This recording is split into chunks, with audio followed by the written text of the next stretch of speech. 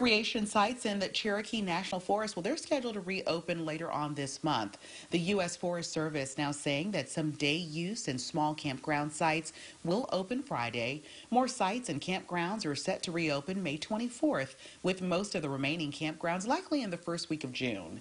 Boat launches and trails have largely remained open during the pandemic.